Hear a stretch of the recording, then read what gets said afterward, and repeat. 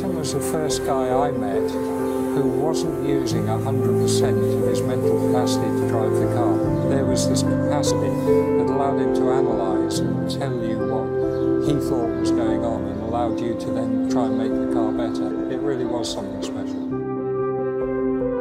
He was the hero, ultimate racing driver. Shocking that it was him because it's like the sun falls from the sky. He was kind of above.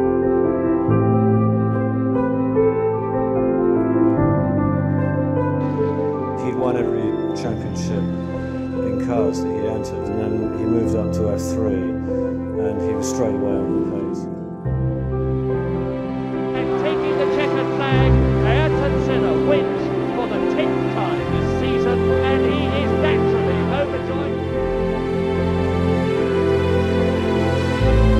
Ayrton was a charming person.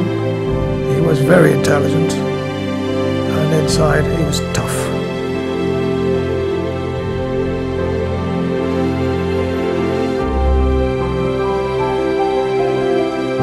He's very emotional, Latin man, very emotional in the car. He wants to do everything. He's so strong. And then on the other side, he was very philosophically, very quiet, very, very nice, very gentle.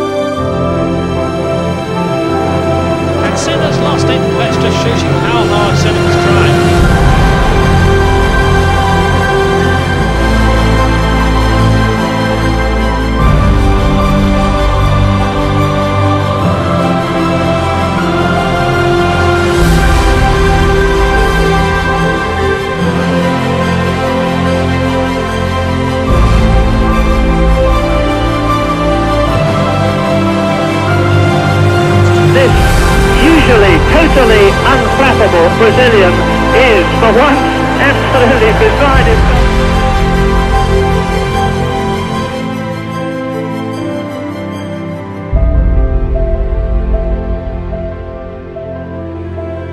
When talking about him driving in Formula One, I was pretty excited. I knew that he was a, a good prospect. I won't pretend I knew how good.